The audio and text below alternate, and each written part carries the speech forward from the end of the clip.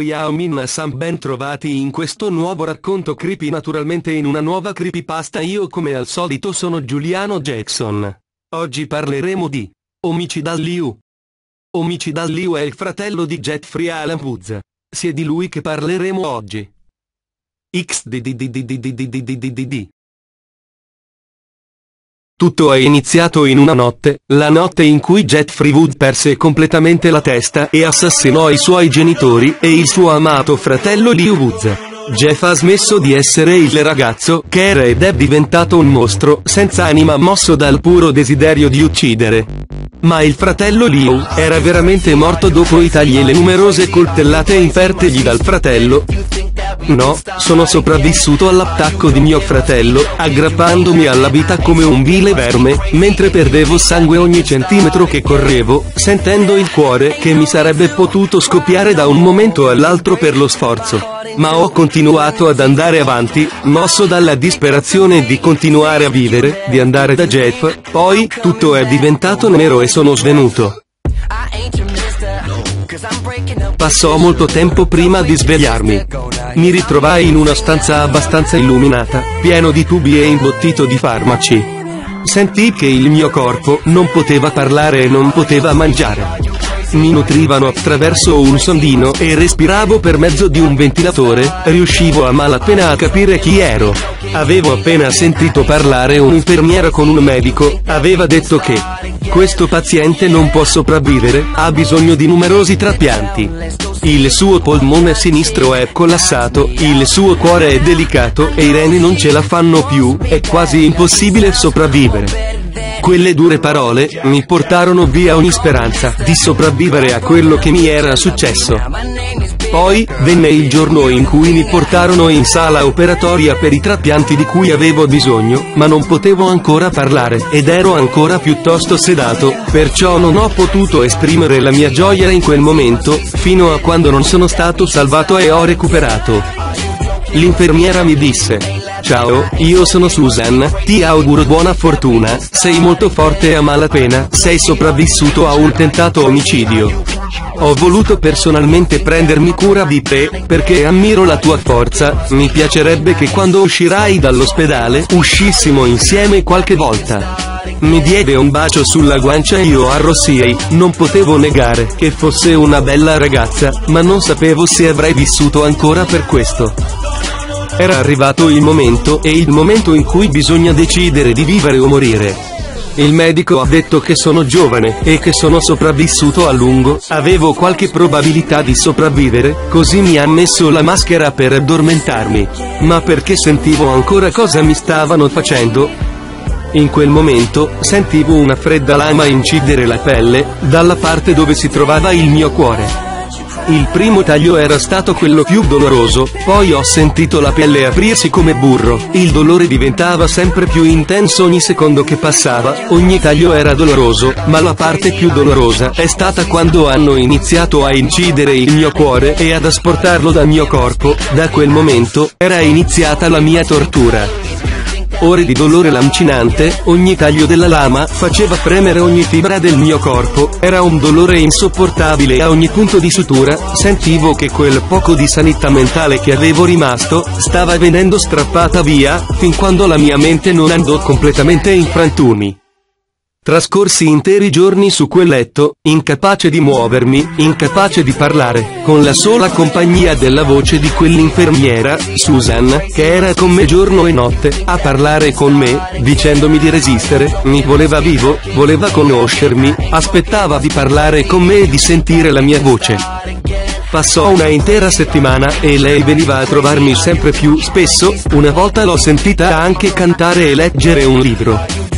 Un giorno, prima di essere in grado di muovermi, ha detto, vorrei tanto che ti svegliassi. Alla fine di quella frase, mi ha baciato e da quel momento, ho ricominciato a sentire il mio corpo, ad aprire gli occhi e l'ho vista. L'ho vista piangere di gioia, nel vedermi finalmente sveglio, allora ho detto, ciao Susan, io sono Liu Woods. Lei rimase un attimo attonita, poi rispose, davvero sei, il fratello di Jeff Woods? È stato ricoverato qui tempo fa e è stato male, e mi sono resa conto tardi della sua instabilità mentale e, poco tempo dopo, infatti, assassinò la sua famiglia. Come sei sopravvissuto Liu? In più e so che tre giorni fa ha sequestrato una ragazza, per poi bruciarla viva usando candeggina e benzina, per poi scappare e sparire dalla circolazione. Nella casa, però e o quello che ne rimane, non sono stati ritrovati più di due cadaveri. Alcuni dicono che la ragazza sia sopravvissuta, però non si sa nulla del destino toccato al cadavere del fratello di Jeff, e correva voce che lo avesse portato con sé, anche se nella camera dove dormiva, ovvero tu, è stata ritrovata una scritta di sangue sulla parete, che diceva Geotti Osleep e un'altra nel bagno, smile scritta col sangue sullo specchio, e mi dispiace per la morte dei tuoi genitori, davvero e immagino tu non voglia più tornare in quel posto. Ti andrebbe di rimanere a dormire a casa mia per un po'? Io vivo da sola, da quando i miei sono morti in un incidente d'auto e quindi, mi rimane una camera vuota. Accettai l'offerta di Susan e subito dopo, dichiarai. Quando uscirò di qui, vorrei portarti fuori a cena. Dove vuoi? Avrei solo bisogno di un giorno, per tornare nella mia vecchia casa, a riprendere i miei vestiti, ma non so se sarà ancora tutto lì, come prima. Lei accettò, anche se mi sembrò un po' riluttante. Da quel momento, Susan veniva a trovarmi tutti i giorni. Avevamo riso insieme ed eravamo molto vicini, quasi sembrava fossimo una coppia, così, le ho chiesto di essere la mia ragazza e lei ha detto. Se voglio essere la tua ragazza. Liu e avrei voluto chiedertelo io, ma non sapevo com'è. Si è avvicinata a me e ci siamo baciati. Ero felice che tutte le cose si stessero mettendo a posto, di aver trovato qualcuno che ora sarebbe stata la mia nuova famiglia. Avevo appena lasciato l'ospedale ed era il primo giorno che passavo fuori di lì. Susan mi aveva accolto a braccia aperte, e visto che era ancora giorno, le ho detto che volevo tornare nella mia vecchia casa a prendere le mie cose. Lei rispose dicendo, sì, però dovresti prendere qualcosa per proteggerti da tuo fratello, nel caso fosse ancora nelle vicinanze. Ho annuito, e dopodiché lei ha continuato. Ok e un paio di coltelli, una siringa, alcuni antidolorifici e un kit di primo soccorso in caso dovessimo metterci qualche punto di sutura nel caso ci siano dei vetri rotti e dell'acqua. Allora, siamo tornati nella mia vecchia casa e abbiamo preso tutto quello che ci serviva, più una borsa per raccogliere la mia roba. Una volta che siamo arrivati, le ho detto qualcosa per rassicurarla. Non aver paura, usciremo tutti e due di qua. E l'ho baciata per calmarla, poi ho aperto la porta d'ingresso sfondandola con un calcio e siamo entrati.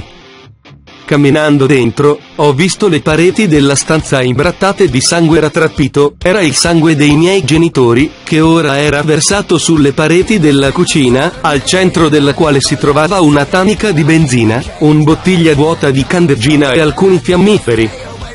Continuammo a girare per la casa, finché non arrivammo al bagno, dove trovai la porta aperta e lo specchio con una tetra parola scritta col sangue smile, mentre il lavandino e il pavimento erano ricoperti di sangue. Alla fine, tutta la casa era sporca di sangue. Poi, siamo entrati nel posto più raccapricciante della casa. La mia stanza. La frase Giotti Oslep era scritta col sangue sul muro, come aveva detto Susan. Ho preso dal mio armadio alcuni vestiti, poi ho preso il mio laptop, l'MP3 e tutto quello che non era macchiato col sangue. Mentre raccattavo in giro le mie cose, mi tornò in mente la faccia raccapricciante di Jeff, con quel suo sguardo malsano, mentre in mano reggeva un coltello grondante sangue e diceva SHHH, torna a dormire. Quel ricordo che mi era appena tornato alla mente, mi strappò via un pezzo della mia salute mentale. Dissi a Susan di darmi la borsa per mettere dentro le mie cose. Poi, sono tornato in bagno, ho preso il coltello e ho giurato davanti allo specchio. Jeff ci vedremo all'inferno quando moriremo. Dopo quella frase, sono tornato da Susan, che era rimasta nell'altra stanza, e tenendo il coltello in mano, la baciai. Addio e amore mio e voglio trovare Jeff, per vendicarmi di ciò che mi ha fatto, perché ha ucciso i nostri genitori e ha quasi ucciso me. Ti amo Susan, anche se non ti potrò vedere dopo la morte e mi dispiace tanto. Impugnando il coltello, stavo quasi per ucciderla.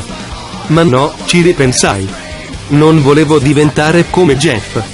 Allora, misi giù il coltello e tornai in me. Pregai Susan di perdonarmi. Ritornare nella mia vecchia casa mi aveva fatto male. Lei rispose candidamente. Non preoccuparti, Liu, ti amo e so anche quanto star vicino alla morte possa far male. Torniamo a casa. Mi baciò, poi chiamammo un taxi e tornammo a casa. Più tardi, mi feci un doccia. Sotto la doccia, ho ricordato il tempo trascorso con la mia famiglia, con mamma, papà e della mia infanzia con Jeff, e degli scherzi che combinavamo insieme, la gioia di avere una famiglia unita e allora, ho iniziato a singhiozzare, ma il rumore era coperto dal suono dell'acqua che cadeva sul piatto della doccia, affogando i miei piagnucoli. Ma questo, non importava. La prima notte era stato qualcosa di traumatico per me. Nei miei incubi, potevo vedere Jeff, come lui era prima dell'incidente, venire ucciso brutalmente dal nuovo Jeff, poi lui si voltò verso di me e disse, perché non sei andato a dormire come ti avevo chiesto? Dopodiché, mi sono svegliato con una terribile sensazione. Susan era entrata nella mia stanza, preoccupata. Che cosa è successo Liu? Stai bene? Sì, ho solo avuto un incubo, non ti preoccupare. Le avevo risposto. Il giorno seguente, mi svegliai col dolce profumo di torta appena sfornata, che proveniva dalla cucina, in cui Susan stava preparando la colazione e come faceva mia madre. Le ho dato il buongiorno, mi sono messo a sedere e ho iniziato a mangiare. Quanto tempo era passato dall'ultima volta che avevo mangiato una torta cucinata con amore? Non me lo ricordavo, ma il sapore era qualcosa di fantastico, ma la felicità non durò a lungo. Ogni giorno che passava, continuavo a sentirmi tormentato e ad avere sempre pensieri malsani per la testa. Stavo impazzendo. Susan mi ricordava sempre di più mia madre. Una volta, presi un coltello dalla cucina e andai nella sua stanza.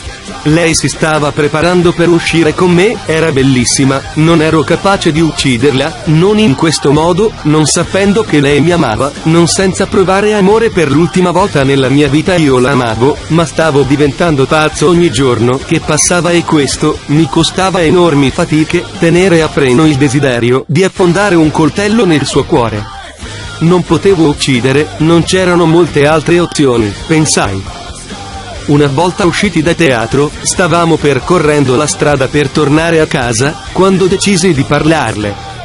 Susan, io ti amo, ma c'è qualcosa dentro di me che mi sta uccidendo e non so quanto tempo riuscirò a sopportarlo, ma e volevo dirti che qualsiasi cosa accada, io ti amerò sempre.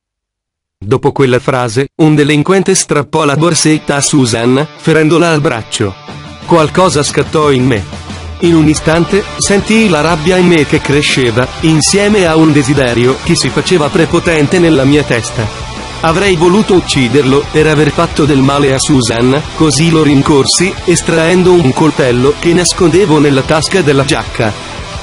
Quando lo raggiunsi, eravamo ancora nella strada dove lui aveva rubato la borsa alla mia amata Susan e lo obbligai a chiederle perdono di fronte a lei.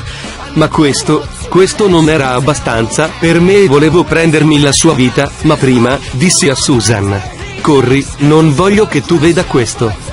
Ti amo Susan, non voglio che tu assista. Lei fece come le dissi e quando arrivò il momento, tornai a fissare quell'uomo. Non ti perdonerò per aver fatto del male a Susan e lei è troppo buona e pura per essersi meritata questo. Quello che le hai fatto è un crimine grave e allora, pagherai per ciò che hai fatto con la vita. Ho stretto il coltello e ho iniziato a colpirlo ripetutamente, sentendo la lama affondare nella sua carne e guardando gli occhi sofferenti di quell'uomo, che si stavano spegnendo, man mano che la vita stava abbandonando il suo corpo, per le ferite letali che gli avevo inflitto. Ho asciugato con un fazzoletto le macchie di sangue dalla mia giacca di pelle, così avrei nascosto il fatto che avevo ucciso il ladro e sono tornato in strada, dove poco più avanti trovai Susan, in una caffetteria all'angolo, che aveva ordinato un forte espresso. Lei stava bene, per fortuna. Il paramedico le aveva medicato la ferita, che non era per fortuna stata profonda e lo ringraziai. Susan e io tornammo a casa e la accompagnai nella sua stanza, poi mi sdraiai nel letto accanto a lei. Susan e sussurrai e non avrei mai voluto che ciò accadesse, ma ho capito una cosa, ed è che non voglio che nessuno ti faccia del male, a partire da oggi. Non ti preoccupare, da ora in avanti nessuno ti farà mai più del male, te lo prometto. L'ho baciata e poi sono andato a farmi una doccia. Ho realizzato che non potevo ucciderla, lei era tutto quello che avevo rimasto, l'unica persona che amavo, ma e avevo provato una certa soddisfazione nell'uccidere quell'uomo. Così, da quel momento in avanti, avevo deciso di uccidere solo le persone che facevano del male agli innocenti, alle persone che mi stavano a cuore e chiunque tentasse di fare del male a Susan. I giorni passarono e sempre più persone vennero uccise, ma mi stufava dover avere sempre i pantaloni macchiati di sangue, così decisi di comprarne un paio di pelle, in modo tale che indossando giacca e pantaloni di pelle, sarei riuscito a rimuovere le macchie di sangue più facilmente, usando della benzina. Uccidere era diventata la mia abitudine, anche se assassinare le persone a coltellate era piuttosto ripetitivo e noioso, così ho iniziato a inventarmi metodi nuovi. Alcuni erano stati bruciati vivi con della benzina, altri operati senza anestesia, altri ancora erano stati forzati a mangiare le loro stesse viscere oppure sminuzzati in tanti piccoli pezzi per poi essere dati in pasto ai cani e randagi. Non ho mai ucciso innocenti, ma solo criminali che meritavano di morire. Questo faceva di me un eroe. Sono andato avanti per molto tempo e mentre spendevo parte del mio tempo in questo modo, il resto lo trascorrevo con Susan. Fin quando, un giorno, non decisi di portarla fuori a cena. Avevo iniziato a lavorare in un ristorante e la paga era buona, così mi permisi di portarla in un posto di lusso, per una cena a lume di candela, poi, mi dichiarai. Susan, siamo stati insieme per ormai un anno e io so che tu sei l'amore della mia vita e che non potrei vivere senza di te. Vorrei chiederti una cosa. Mi inginocchiai e aprì una piccola scatolina che estrassi dalla tasca, mostrando un anello. Vuoi sposarmi? Lei era felicissima e con le lacrime agli occhi mi rispose. Certo che ti voglio sposare. Lasciammo il ristorante dopo cena e non ero mai stato così felice in tutta la mia vita, fin quando un dannato non le sparò fuori dal ristorante. Stavo esplodendo di rabbia e ira, ma non potevo lasciare Susan da sola, sanguinante e morente, così l'ho portata all'ospedale più vicino. Il dottore disse, Adesso è un momento delicato, nel peggior dei casi, potrebbe non risvegliarsi. Lasciai l'ospedale e tornai in strada a cercare il tizio che le aveva sparato. Avevo memorizzato molto bene la sua faccia e non doveva essersi allontanato di tanto. Girando un paio di strade, quelle più frequentate dalla malavita della città, lo trovai. Lo colpì duramente alla testa, quando era di spalle e poi, urlai di rabbia. Ti ucciderò bastardo per quello che hai fatto a Susan, pagherai con la vita. L'uomo morì, nell'istante stesso in cui terminai la frase. Tornai all'ospedale, dove il dottore mi disse che Susan era appena rinvenuta e così, le ho parlato. Quando sono entrato nella sua stanza, lei disse, Liu, sei tu? Sono contenta che tu sia arrivato. Spero di riuscire a resistere. Ti amo e non voglio morire, ma se ciò dovesse succedere, voglio che sia tu a prendere la mia via e lo so che cosa facevi, so di tutti i criminali che hai ucciso e penso che questa sia una missione davvero nobile e perciò, non fermati lì, ma continua con ciò che facevi. Abbiamo parlato per un'ora, in cui ci siamo detti tutto quello che c'era da dire, anche se, non mi andava l'idea che stavo per perdere l'unica persona importante che mi era rimasta. Il medico non tardò ad arrivare, per avvisarmi. Signor Duz, le sue ferite sono gravi e dobbiamo operarla. Diedi il consenso. Lei fu portata in sala operatoria e le tre ore che seguirono dall'inizio dell'intervento sembrarono non passare mai. Avrei voluto asportarmi gli occhi per la disperazione, continuando a sperare che Susan sarebbe riuscita a sopravvivere all'intervento. Un volta che tutto finì, lo stesso medico tornò da me per dirmi. L'operazione è andata bene, i suoi parametri vitali sono stabili e domani, dopo l'anestesia, si risveglierà. Con calma, tra due settimane, potrà essere dimessa dall'ospedale. Quelle parole mi fecero prendere un colpo per la gioia e mi sentì così in pace, di sapere che Susan ce l'aveva fatta.